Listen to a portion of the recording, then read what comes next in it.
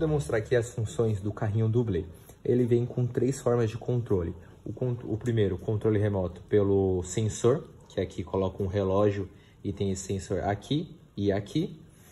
O controle remoto e sensor aqui por cima. Já vou demonstrar cada uma dessas formas. Normalmente ele vem aqui com um parafuso, não vier também é comum, é opcional esse parafuso, porque aqui já prende bem. Aí se você vê que não está prendendo, você pode colocar um parafuso aqui. Você tira o parafuso se tiver e abre a tampinha e conecta a bateria aqui ao carrinho. Conectado, você coloca aqui o cabinho para o lado para fechar certinho. Nunca force nada, ele fecha certinho, ó. Então, fechado aqui, conectada a bateria, você vem e liga aqui, ó. Pode ser que às vezes ele já esteja até ligado, tá? Só para falar aqui rapidamente, caso você ligue e não ligue, pode ser simplesmente bateria descarregada. Você coloca a bateria para carregar. Ligado aqui, ó, ele já faz um barulho inicial. Pode ser também, deixa eu falar uma coisa importante, que ele entre no modo demonstração, que é o que? Você liga e ele já começa a fazer um monte de barulho é, e ficar... Percebeu que ele fez um, um, um giro mas só de início, logo parou. Até porque o giro foi por conta do que eu estava com a mão aqui no sensor de cima. Mas pode ser que você mesmo com a mão, não com a mão em cima, ele comece a ir sozinho. Aí tá o que? No modo de demonstração. Eu vou demonstrar já já como que tira esse modo de demonstração se ele já ligar neste modo aí. Mas enfim, vamos começar aqui a demonstração. Vou primeiro demonstrar aqui o sensor, já percebemos que há nele, que é o sensor aqui em cima. Se eu fizer aqui assim, ó, ele sobe para cima se eu fizer aqui para baixo, ele vai para baixo, que é o quê? Para aumentar ou baixar ele aí, dependendo de onde você está andando com o seu carrinho. Ele também tem a função aqui, ó. Você coloca para cá, aí ele, vem, ele vai para lá. E se você colocar para cá, eu colocar a mão aqui para ver, ele vai para lá também. Então, são essas funções do sensor aqui de cima. Você consegue controlar ele com o sensor de cima. Vamos passar para o controle remoto. Você vem e liga o controle remoto. Essa LED ele não liga, não fica ligado, tá? Só quando você faz o comando. Então, comando normal, para frente, para trás, aqui assim, ó.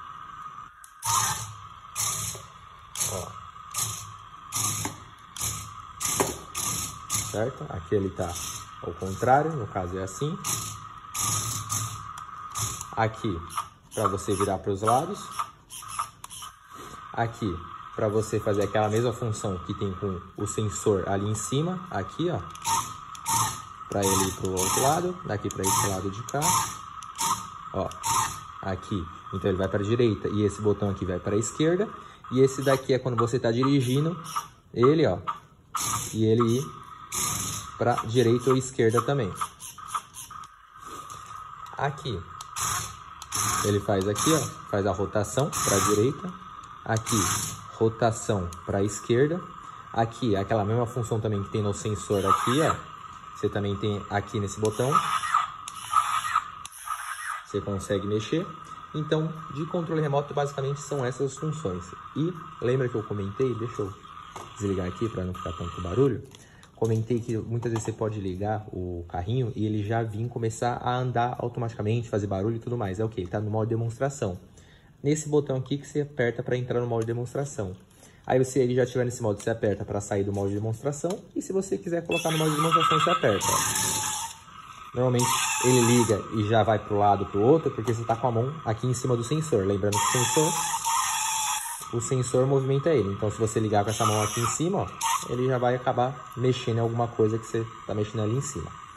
O modo de demonstração é para quê? Você tá ali com seu filho, alguma coisa que quer demonstrar para seu filho todas as funções do, do brinquedo, ou um aniversário, presente, você vai lá e aperta, aí ele vai começar a fazer um monte de demonstração, algum, algumas músicas, rodando, assim, ó, quer ver?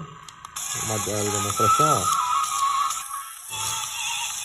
Eu não vou colocar ele aqui, porque o espaço é pequeno ele vai acabar mexendo muito aqui, mas ele vai para o lado, vai para o outro, um espaço grande é interessante, algo legal aí, bem atrativo para a criança e realmente demonstrar todas as funções do produto. Então, vou demonstrar aqui a última forma de controle do carrinho, que é com o relógio. O relógio você coloca aqui no posto do lado esquerdo, que é, que é melhor.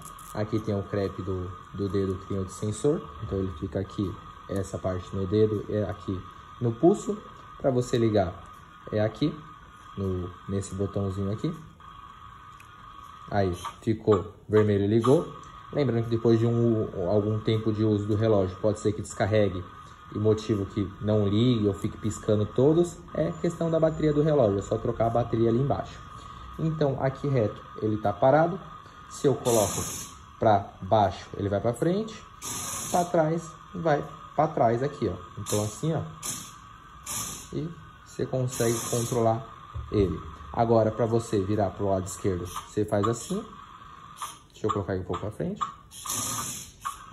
E para o lado direito, você vira a mão para o lado direito. Bem simples aí os comandos. Lado então direito, lado esquerdo. Aqui, esse botão serve para você entrar no modo de demonstração, que é aquela, aquele mesmo modo que no controle remoto. E aqui você vai mudando o nível do, do sensor aqui. Se você quer o sensor você mexe um pouquinho, ele já vai para frente, mexe um pouquinho, ele já vai para trás.